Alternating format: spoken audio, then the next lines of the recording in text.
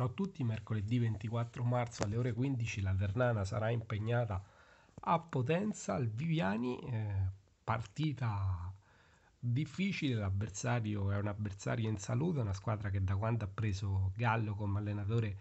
eh, sta crescendo sempre di più e sta facendo punti e risultati importanti, quindi è una partita assolutamente eh, da non sottovalutare e da giocare al massimo delle possibilità, ovviamente diciamo così, influenza eh, la partita di, di Teramo e quella con la Vipponese eh, influenzeranno un po' eh, le energie fisiche dei giocatori, ma sicuramente eh,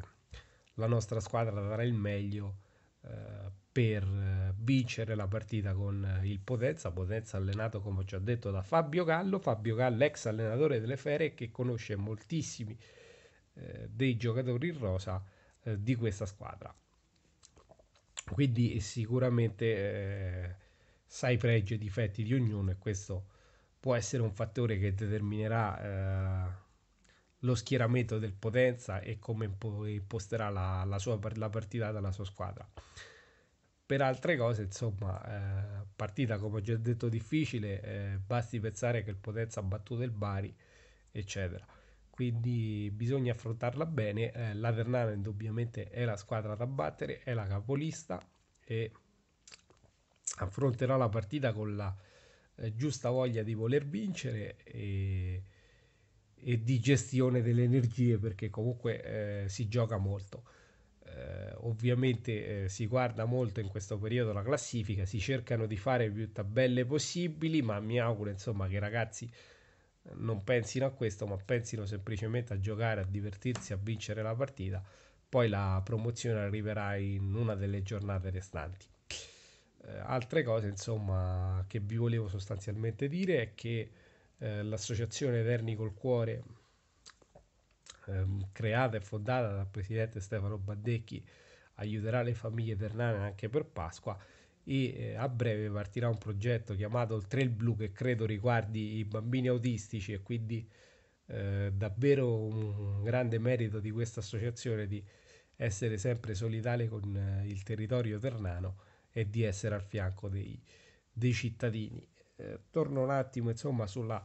uh, questione petizione del progetto Stadio Clinica perché è importante insomma capire eh, la portata di questo progetto, che questo progetto significa occupazione, che questo progetto significa rilancio economico eh, per la città di Terni, nuovo sviluppo e che questo progetto sostanzialmente si, significa in poche parole una rinascita della città a livello economico, a livello imprenditoriale, ma anche eh, sanitario e quant'altro tornando insomma al calcio giocato, mercoledì sarà una partita assolutamente importante che determinerà il futuro del campionato perché ovviamente eh, è una partita di recupero e se vogliamo è quella partita in più che la Ternana ha rispetto agli avversari e questo significa che è un match point importantissimo perché potresti andare a più 12 sull'Avellino senza possibilità che l'Avellino controbatta, ovvero non gioca, quindi il più 12 in caso di vittoria è matematico senza attendere nessun altro risultato. E poi il campionato lo potresti decidere o col Bisceglie o con l'Avellino stesso il 3 di aprile, quindi ci avviciniamo al giro di boa e alla matematica che prima o poi arriverà.